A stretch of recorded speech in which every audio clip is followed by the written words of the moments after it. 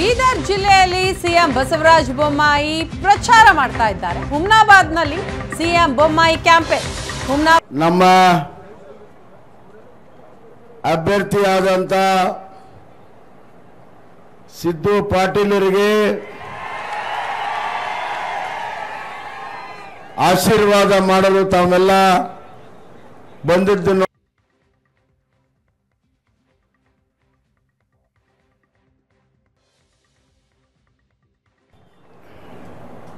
ವೇದಿಕೆ ಮೇಲೆ ಇರುವಂಥ ಎಲ್ಲ ನಮ್ಮ ಹಿರಿಯ ನಾಯಕರೇ ನೆರೆದಿರುವಂಥ ಅಣ್ಣ ತಮ್ಮಂದ್ರೆ, ಅಕ್ಕ ತಂಗಿಯರೇ, ಮಾಧ್ಯಮ ಸ್ನೇಹಿತರು.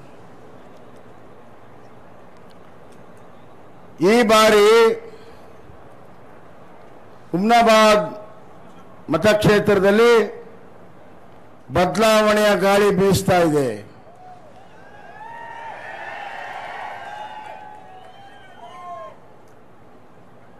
ಕಳೆದ ಮೂರು ಬಾರಿ ಇಲ್ಲಿ ಕಾಂಗ್ರೆಸ್ ಪಕ್ಷ ತನ್ನ ಆಡಳಿತವನ್ನ ಮಾಡ್ತಾ ಇತ್ತು. ಈ ಕ್ಷೇತ್ರದ ಜನ ಅವ್ರಿಗೆ ಅವಕಾಶವನ್ನು ಮಾಡಿಕೊಟ್ಟಿದ್ರು ಆದರೆ ಕಾಂಗ್ರೆಸ್ ಪಕ್ಷ ತನ್ನ ಆಡಳಿತವನ್ನ ಮಾಡ್ತಾ ಇತ್ತು. ಅವರನ್ನ ಆಯ್ಕೆ ಮಾಡಿದ್ರಿ ಅದು ಸಂಪೂರ್ಣವಾಗಿ ಹುಸಿ ಹೋಗಿದೆ, ಸುಳ್ಳಾಗಿದೆ. ಹೀಗಾಗಿ ಈ ಕ್ಷೇತ್ರದ ಮಹಾಜನತೆಯಲ್ಲಿ ನಾನು ಕೈ ಮುಗಿದು ಕೇಳ್ತಾ ಇದ್ದೇನೆ, ಮೂರು ಬಾರಿ ಅವ್ರಿಗೆ ಅವಕಾಶವನ್ನು ಮಾಡಿಕೊಟ್ಟಿದ್ದೀರಿ ಈ ಬಾರಿ ನಮ್ಮ ಹುಡುಗನಿಗೆ ಸಿದ್ದು ಪಾಟೀಲ್ಗೆ ಅವಕಾಶವನ್ನು ಮಾಡಿಕೊಡಿ.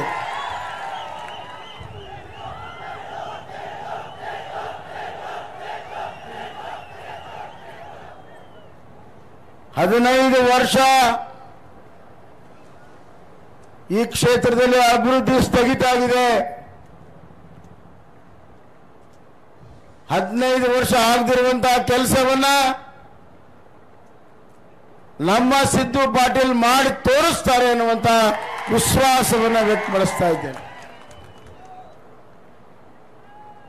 ಸಿದ್ದು ಪಾಟೀಲ್ನಲ್ಲಿ ಶಕ್ತಿ ಇದೆ.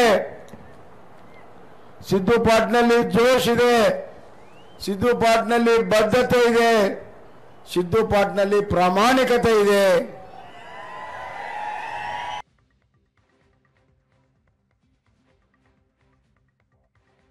ಶಕ್ತಿ ಇದೆ.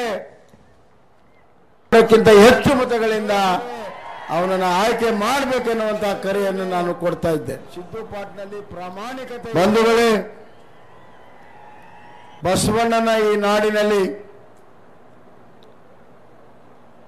ಇವತ್ತು ಸಾಮಾಜಿಕ ಸಮೀಕರಣ ಆಗ್ತಾ ಇದೆ.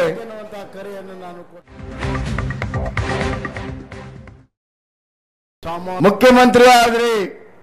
ಅದರ ವರ್ಗ, ಹಿಂದುಳಿದ ವರ್ಗ ತುಳಿತಕ್ಕಾಗಿರುವಂತಹ ವರ್ಗ ಎಲ್ಲಿದೆ, ಅಲ್ಲೇ ಇದೆ.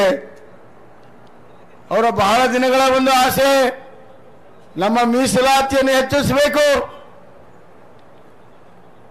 ಹೆಚ್ಚಿಸಲಿಲ್ಲ ಕಾಂಗ್ರೆಸ್ನವರು.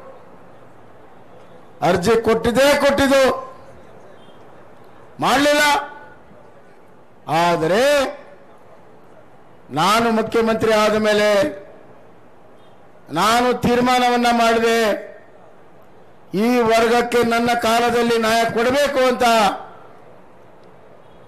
ಎಸ್ ಸಿಗೆ ಹದಿನೈದು ಇದ್ದಿದ್ದು ಹದಿನೇಳು ಎಸ್ ಟಿಗೆ ಮೂರು ಇದ್ದಿದ್ದು ಏಳು, ರಿಸರ್ವೇಷನ್ ಹೆಚ್ಚಿಗೆ ಮಾಡಿದ್ರು ಎಲ್ಲರೂ ಹೇಳಿದ್ರು ನನಗೆ, ಜೇನುಗೂಡಿಗೆ ಕೈ ಹಾಕಬೇಡ್ರಿ. ನಮ್ಮ ಕೈಲೇ ಮಾಡೋಕ್ಕಾಗಿಲ್ಲ, ನೀವು ಮಾಡೋ ಪ್ರಯತ್ನ ಮಾಡಬೇಡ್ರಿ. ನಾನು ಹೇಳಿದೆ, ನಾನು ಜೇನುಗೂಡಿಗೆ ಕೈ ಹಾಕ್ತೇನೆ. ಜೇನು ಹುಳ ನನಗೆ ಕಚ್ಚಿದ್ರು ಚಿಂತಿಲ್ಲ. ನನಗೆ ಕೈಗೆ ಕಚ್ಚಿಸ್ಕೊಳ್ಳೋಕೆ ತಯಾರಿದ್ದೇನೆ. ನನ್ನ ಕೈಗೆ ಜೇನು ಹುಳ ಕಡತವನ್ನ ಕಚ್ಚಿಸ್ಕೊಂಡು ಆ ತುಳಿತಕ್ಕೆ ಒಳಗಾಗಿರುವಂಥವ್ರಿಗೆ ಜೇನು ತುಪ್ಪವನ್ನು ಕೊಡುವಂತಹ ಕೆಲಸವನ್ನ ನಾನು ಮಾಡ್ತೇನೆ ಅಂತ ಹೇಳಿ. ಆ ಕೆಲಸವನ್ನ ಮಾಡಿದ್ವಿ ಮತ್ತೆ ಆಂತರಿಕ ರಿಸರ್ವೇಶನ್ ಅನ್ನ ಬಹಳ ದಿನಗಳಿಂದ ಕೇಳ್ತಾ ಇದ್ರು. ಅದನ್ನು ಕೊಡಕ್ಕಾಗಲ್ಲ. ಮಾಡೋಕ್ಕಾಗಲ್ಲ ಜೇನುಗೂಡು ಮುಟ್ಬೇಡಿ. ಇಂಥವೆಲ್ಲ ನಾನು ತಲೆ ಕೆಡಿಸ್ಕೊಳ್ಳೋದಿಲ್ಲ. ಮತ್ತೆ ಆಂತರಿಕ ರಿಸರ್ವೇಷನ್ ಆದೇಶವನ್ನು ಕೂಡ ಇವತ್ತು ನಾವು ಮಾಡಿದ್ದೇವೆ ಬಂಧುಗಳೇ. ಅವರಿಗೆ ಸಂಪೂರ್ಣವಾದಂಥ ನ್ಯಾಯವನ್ನು ಕೊಟ್ಟಿದ್ದೇವೆ. ಅದೇ ರೀತಿ ಕಾಯಕವೇ ಕೈಲಾಸ ಎಂದು ನಂಬಿರುವಂತಹ ರೈತ ಕುಲ, ಅವರಿಗೆ ಎರಡೆರಡು ಪರ್ಸೆಂಟನ್ನು ಹೆಚ್ಚಿಗೆ ಮಾಡಿದ್ವಿ.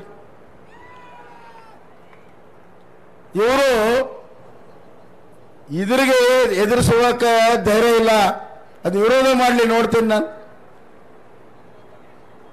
ಈ ರಾಜ್ಯದಲ್ಲಿ ರೈತ ಸಮುದಾಯವನ್ನ ವಿರೋಧ ಮಾಡಿ ತಡೆಯಕ್ಕಾಗುತ್ತಾ ನಿಮಗೆ? ವಿರೋಧ ಮಾಡಲಿಲ್ಲ, ಹಿಂದುಗಳಿಂದ ಕೋರ್ಟಲ್ಲಿ ಹೋಗಿ ಅದನ್ನ ತಡೆ ಆಜ್ಞೆ ತರುವಂತಹ ಪ್ರಯತ್ನ ಮಾಡ್ತಾರೆ. ಇವರು ಬಣ್ಣ ಸ್ವಲ್ಪ ದಿವಸದಲ್ಲಿ ಬಯಲಾಗ್ತದೆ. ಏನ್ ಹೇಳಿದ್ದಾರೆ? ಕಾಂಗ್ರೆಸ್ ನಾಯಕರು ಇಬ್ರು, ನಾವು ಅಧಿಕಾರಕ್ಕೆ ಬಂದ್ರೆ ರಿಸರ್ವೇಷನ್ ಕ್ಯಾನ್ಸಲ್ ಮಾಡ್ತೇವೆ. ದೀನ ದಲಿತರಿಗೆ ಕೊಟ್ಟಿದ್ದು ಕ್ಯಾನ್ಸಲ್ ಮಾಡ್ತೇವೆ. ಹಿಂದೂ ವರ್ಗದವ್ರಿಗೆ ಕೊಟ್ಟಿರೋದು ಕ್ಯಾನ್ಸಲ್ ಮಾಡ್ತೇವೆ. ಲಿಂಗಾಯತ ಒಕ್ಕಲಿಗರಿಗೆ ಕೊಟ್ಟಿದ್ದು ಕ್ಯಾನ್ಸಲ್ ಮಾಡ್ತೇವೆ. ನಾನು ಇವತ್ತು ಈ ಹುಮ್ನಾಬಾದಿನ ಬಿಜೆಪಿಯ ವೇದಿಕೆ ಮೇಲೆ ಸಿದ್ದುವಿನ ನಾಮಿನೇಷನ್ನ ಈ ಕಾರ್ಯಕ್ರಮದಲ್ಲಿ ಚಾಲೆಂಜ್ ಮಾಡ್ತೇನೆ. ಸಭಾ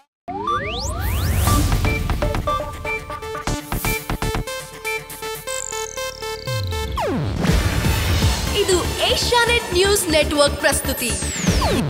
ನೀವು ನೋಡ್ತಿದ್ದೀರಾ ಏಷ್ಯಾ ನೆಟ್ ಸುವರ್ಣ ನ್ಯೂಸ್.